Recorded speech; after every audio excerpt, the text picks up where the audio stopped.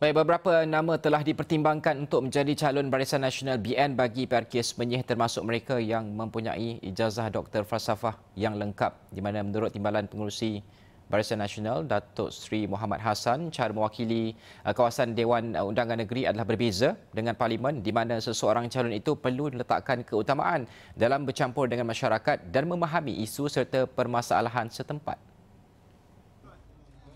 Atas sebab itu, katanya lagi, Zakaria Hanafi merupakan calon yang paling sesuai dalam usaha merampas kembali kerusi itu dari tangan Pakatan Harapan. Kita bukan tak ada calon yang dikemukakan yang mempunyai PhD yang dah yang dah habis ya. Bukan PhD sekerat jalan. Tapi PhD yang dah lengkap. Dalam bidang agama, persarahan banyak yang kita pilih.